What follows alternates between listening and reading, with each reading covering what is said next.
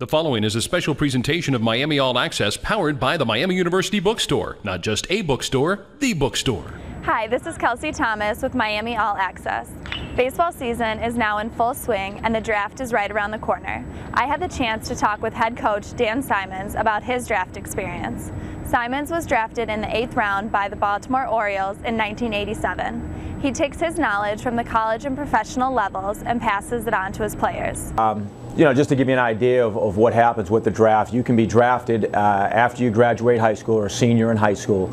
Uh, you, if you go to a junior college, you can be drafted either after your first year or your second year. And then uh, once you enter a four-year school, uh, you have to wait until your junior year or unless you're 21 years old. Freshman Nate Williams and junior Ryan Curl are the two Redhawks that were drafted out of high school. Both have been recovering from injuries as Williams is redshirting this year and Curl is coming off a couple injuries.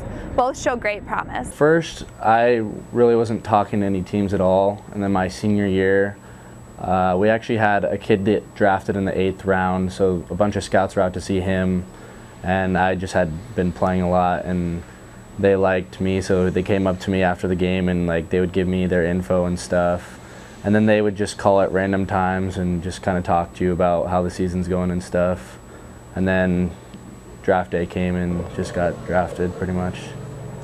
Um, I had a pitching coach that I worked with for quite some time, and he was kind of quote unquote my mentor type thing, and he was just kind of helping me, you know, weigh out the pros and cons of college and signing and whatnot. And he was he was actually probably the biggest influence besides my parents in the decision? I already signed with Miami my senior year. More pro scouts started talking to me and started like mentioning like the draft process and see how that went. And like the draft day came around and I had a baseball game actually that day. And I ended up leaving my phone on the table on the kitchen counter. And so my parents had to like call my best friend that I was riding to the game with and I found out that way.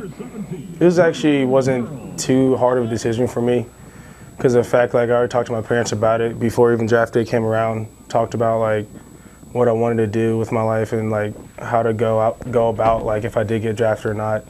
So it made my decision a lot easier than most players, I should say. Like I want to succeed no matter what's going on. Like it doesn't bother me that there's gonna scouts can be there because even freshman year we had kids on our team that got drafted. So like in college, every single year there's scouts in the stands. So it really doesn't bother you that much? You know, our approach and a lot of ways that we handle our players, I, I kind of cut my teeth in professional baseball and spending a number of years in player development with the Orioles, with the uh, Chicago Cubs, and the San Diego Padres. So a lot of what we do is to kind of try to get guys that are, are draftable out of high school, that, that have the skill set, and really try to develop those uh, talents once they're here. Um, we do our best to teach them. Um, you know, a lot of ways how to handle themselves, how to mentally approach the game. Uh, you know, while we develop their physical skills, we also try to develop their mental skills as well. I think they're actually, it seems to be college, seems to be the way a lot of organizations are going now. I, I, think you're seeing a lot more kids taken out of college than out of high school. I think you'll see kids at the higher rounds taken out of high school um, that more kind of like the blue chip or sure bets.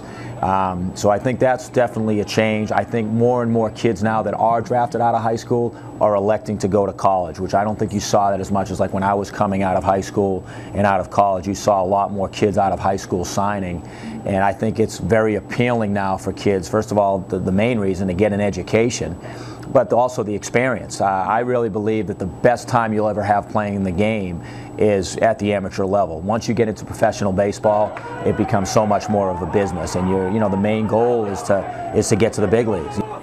Well, I think we have a couple guys. You know, I really do. I think there's uh, some people uh, right now on uh, several of our juniors right now. I think there's a couple seniors right now that are opening up some eyes. Um, so it's going to be very, very interesting come June how it all plays out. But um, I think there's guys very, very worthy of playing at the next level